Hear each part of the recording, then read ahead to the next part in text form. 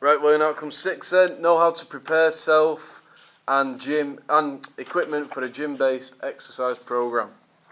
6.1. Outline the organisation's guideline for replacement of equipment. Well, yeah, tell your supervisor or the owner of the gym.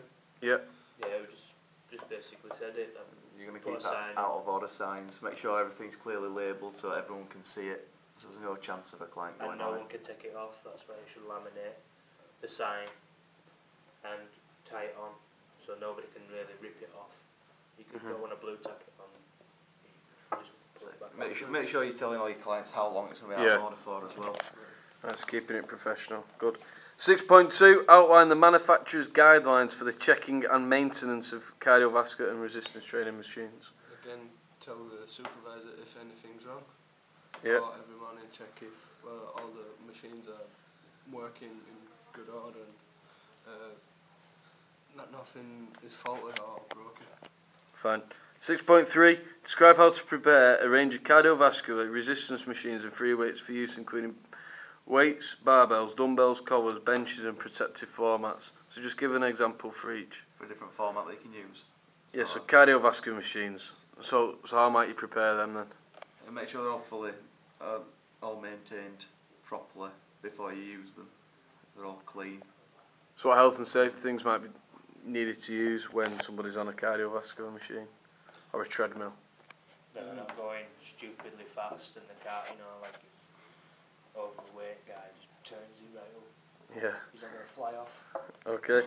and then what? And then what do they put on themselves as well? You can put that clip on. Clip on as well. Good.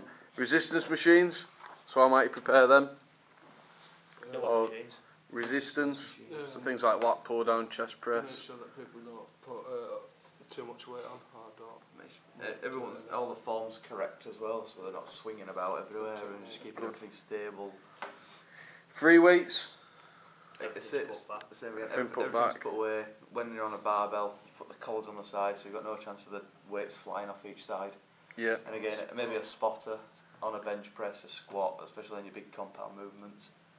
And uh, maybe a matted area as well to keep Yeah. everything safe, keep your, stru- your, fro- your floor all. Uh, What about when you're taking weights off, a, say, a bench press?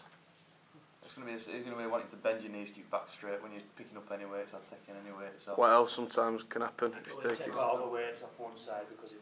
Well, oh, flip Yeah. yeah, we've done that before. Alright. it's Really got me before. would it? Okay, so make sure you're aware of different the weights on each side. Yeah. Make sure clients are aware of that as well. Good.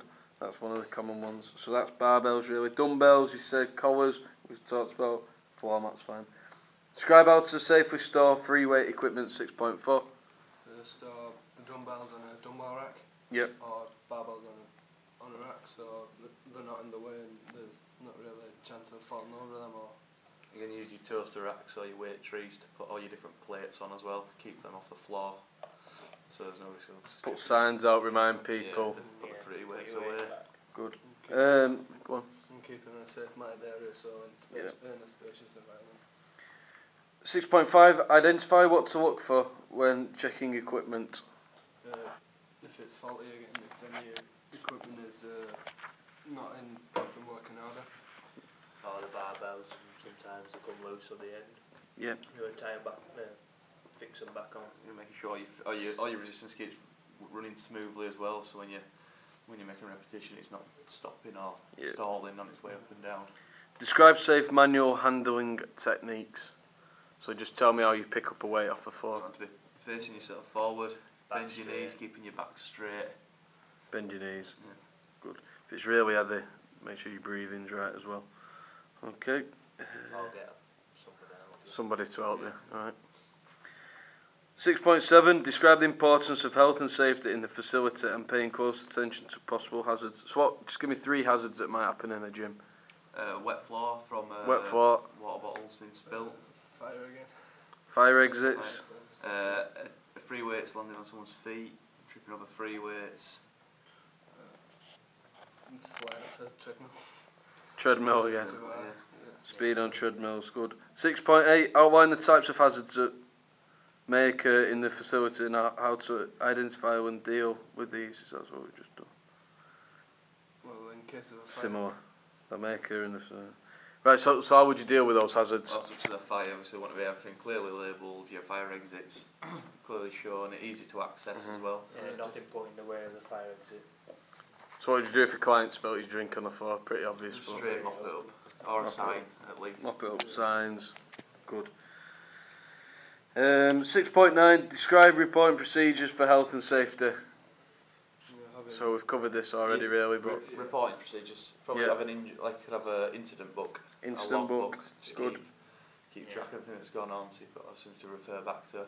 yeah, Uh, if it's ser- if it's really serious, phone in obviously another professional, whether it's 999 hmm or just someone else who's obviously more qualified to deal with the situation. Or your manager. Man, yeah. Yeah. so, Six point ten, explain how to ensure an instructor is fully prepared to instruct gym-based exercise. make sure that the uh, instructor is, uh, has first aid, is first, first aid trained. Yep. In case of any even small injury, as a cut or Mhm. something, or to see if uh, mm, make sure that he's fully qualified to lead you in the gym and that he knows the correct technique and knows what he's doing. Which other awards might have? So he's got health and uh, he's got first aid, Have his He's nutritional, got his nutritional awards gym. as well. Got nutrition awards, health and safety qualifications.